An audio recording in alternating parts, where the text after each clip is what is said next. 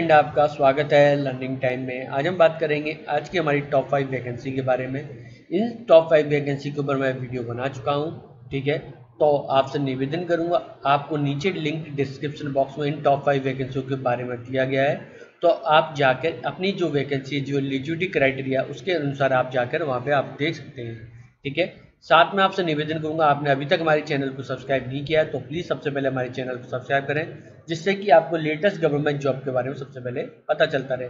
Friend आज की हमारी सबसे पहली वैकेंसी है, जिसके बारे में संक्षेप में आपको बताऊँगा विस्तार से आपको नीचे लिंक डिस्क्रिप्शन बॉक्स में मिल जाएगा। तो स्टेनोग्राफर की है, और स्टेनोग्राफर की आपकी वैकेंसी निकली है एस में, ठीक है? उसके बारे में बात करते हैं।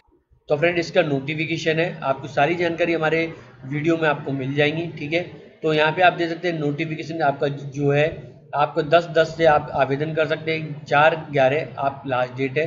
चार ग्यारह आपको लास्ट डेट और रिसिप्ट एप्लीकेशन की है। छः ग्यारह आपका लास्ट डेट है मेकिंग ऑनलाइन पेमेंट का। चालान का आठ ग्यारह आ रहा है। लास्ट डेट थ्रू चालान का आपका आ रहा है। दस ग्यारह आ रहा है।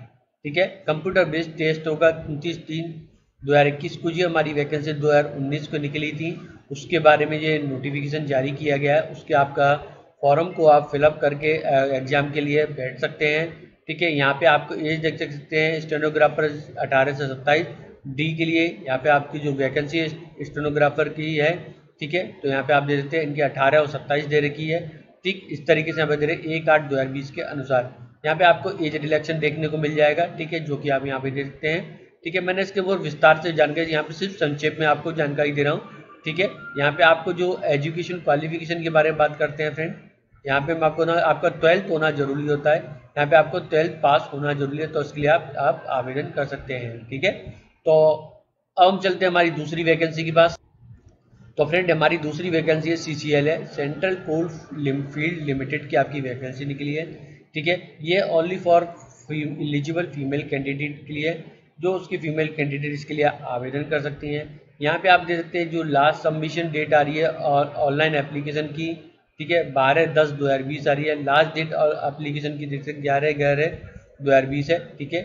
और last date application along with supporting document इसका आपको भेजना है इक्कीस ग्यारह दो हज़ार बीस, ठीक है। तो नंबर ऑफ़ वैकेंसी आपको देखने जूनियर ओवरमैन की वैकेंसी है, ठीक है। सैलरी आपकी इकतीस हज़ार की पचहत्तर वैकेंसी निकली हुई है। ठीक है? यहाँ पे आप देख सकते हैं, उसकी और जानकारी आ रही है, आपको विस्तार से मैंने इसके ऊपर वीडियो बना रखा है, वहाँ पे आपको जानकारी मिल जाएगी, ठीक है? हमारी जो नेक्स्ट वैकेंसी है, आप यहाँ पे दे सकते हैं पोस्ट ऑफ़िस की वैकेंसी जो कि महाराष्ट्र की सर्किल की पोस्ट सर्किल की वैकेंसी निकली है, ठीक है? जो कि मेल गार्ड पोस्टमैन की वैकेंसी है, जो कि मल्टी टास्किंग स्टाफ की वैकेंसी निकली है। उसके लिए आप आवेदन कर सकते हैं, इसके ऊपर मैंने पूरा वीडियो बना रखा है, किस तरीके से आवेदन कर सकते हैं, सारी जानकारी मैंने आपको दे रखी है। वो आप रीड कर सकते हैं। तो पोस्टमैन मेल गार्ड की आपकी वैकेंसी देखिए, यहाँ पे आपको लेवल थ्री की सैलरी रहेगी लेवल वन की, ठीक है? यहाँ पे आपको देखते सारी जानकारी आ रही है, ठीक है? यहाँ पे आपको जो आपकी क्वालिफिकेशन है टेंथ और ट्वेल्थ मांगी गई है।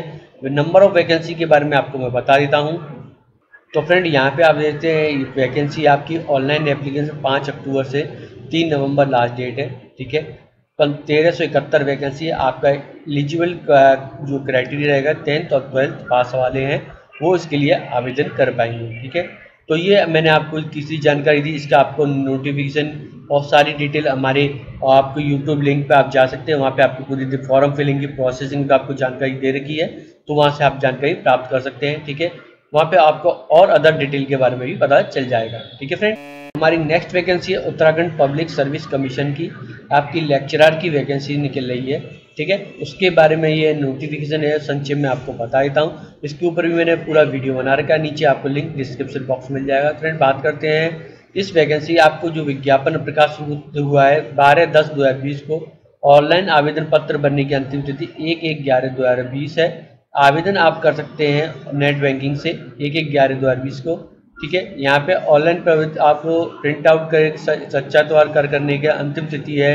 वर्ग फॉर्म भरने के बिज़ी लास्ट डेट है, सोलह ग्यारह दो हज़ार बीस आ रही है, ठीक है? तो यहाँ पे आपकी और डिटेल है, वो यहाँ पे आप रीड कर लीजिएगा।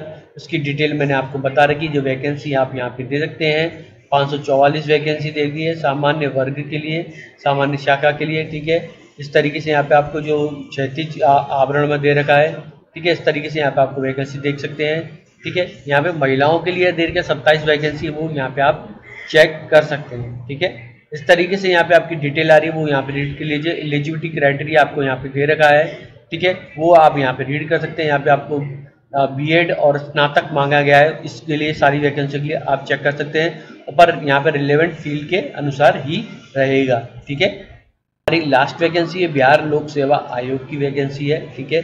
जिसमें आप देख सकते हैं, ये वैकेंसी निकली है आपकी पंचायती राज विभाग की निकली है, ठीक है? ऑडिट की ऑफिसर की वैकेंसी निकली है, ठीक है?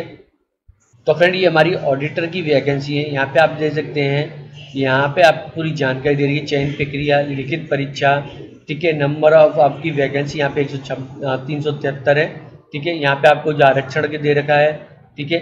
और यहाँ पे आपको दे सकते हैं, विषय दे रखे हैं। वो यहाँ पे मैं थोड़ा बड़ा करता हूँ, जिसमें आप हैं, आपका चयन प्रक्रिया, लिखित परीक्षा होंगी। उस सब के बारे में मैंने डिटेल से इसमें आपको बता रखा है तो वहाँ पे आके जाके आप चेक कर सकते हैं, ठीक है? तो इस तरीके से आज की हमारी जो पाँच वैकेंसी है तो वो मैंने आपको बता दिया है। फ्रेंड अगर ये वीडियो पसंद आया तो प्लीज़ हमें सपोर्ट करें। ऐसे ही मैं लेटेस्ट गवर्नमेंट जॉब के ऊपर वीडियो बनाता था फ्रेंड वीडियो देखने के लिए धन्यवाद।